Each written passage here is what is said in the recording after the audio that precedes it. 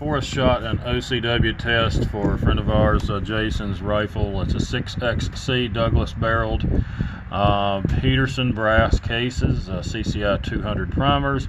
The bullet's the 115 DTAC. It is the pointed bullet. Um, and this is the H4350 Hodgdon H4350 powder. Okay, uh, after three shots to get the thing in the box, uh, here was the first five shot group out of this brand new Douglas barrel. I guess shots three through eight. Yeah, shot quite well there. Uh, and then we begin the optimal charge weight test, and you shoot this round robin. So you take one shot of 40 grains here, then one shot of 40.3 here, then one shot of 40.6 here, one shot of 40.9 here, and then one shot of 41.2 here. You're gonna let the gun cool off. Um, you know, I waited about 20 to 30 seconds in between shots, and then after I would finish one complete string, I'd give it about a minute. And then go back and do the next string. So then you come back through the second time with one shot of 40 grains, and then one shot of 40.3, one shot of 40.6, and here and here, and so on. And you come through three times. You're shooting round robin. Why do you do that? To spread the effects of a heating and fouling barrel evenly across all of these charge weights. Uh, a statistician uh, got into riflery uh, the name of Denton Bramwell. I remember he wrote that the OCW test is the most statistically significant way to develop a load because of this round robin um, uh, firing sequence and I was very flattered to hear him say that. All right, what are we looking at when we're done? Very important. You're going to be um, 3% apart with accuracy nodes and 3% apart with your scatter nodes. That means that 1.5% away from either accuracy or scatter node, you're going to the opposite end uh, of, uh, well, let me put it this way. That doesn't look too good. And we hope that it wouldn't. Now, this is a long barrel.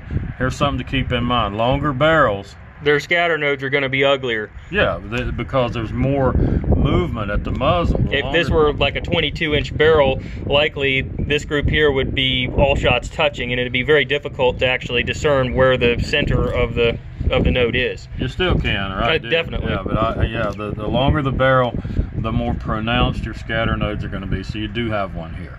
Now, as you come away from the scatter node to 40.3, we start to tighten up. You kind of notice this thing, uh, this uh, scatter node almost uh, surrounds or brackets this this point of aim here, point of impact here. And then we step it up another three tenths and, and we're even tighter. Now, I want you to notice this. This shot is not a pull. This wasn't a shooter-induced pull. Um, had a guy on a forum, not on a forum, on my own YouTube channel, you know, going, uh, you need a better trigger puller. You need a better trigger puller. I got a feeling he pulls his this pinky. for him, boss. But anyway, this bullet that struck here was one bullet that would that, that in the scatter node it this one here acted exactly like that these holes would be cutting so at 40 grains you hit the scatter node but 43 you're not far enough away from the scatter node to to get this shot back this way so we wouldn't use 40.3 by the time we get to 40.6 this is looking pretty nice pretty tight Another thing to realize, and I know the train engineer hat guy doesn't believe this, but there's people that's been in the business a lot longer than he has um, that do understand this. There are two types of dispersion. There is angular dispersion, then that never gets any better. Then there is what we call spiral dispersion.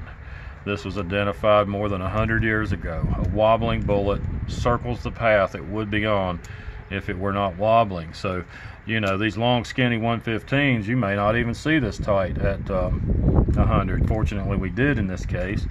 Uh, we took some of these down range and they just man, stacked. stacked like cordwood, really tight. Even on the scatter nodes, they were. Yeah, even good. the scatter nodes, and that's one thing that you can say about the 6XC. Also, the 6 Dasher would be in that category, and the 6547. Finding a bad load for them is difficult, but you can find loads that are better than others. That's right. So let's say we're at a scatter node at 40 grains, generally a 40 grain area. Then the 3% rule means you're going to be on another scatter node at about 41.1. Yep. What do we got?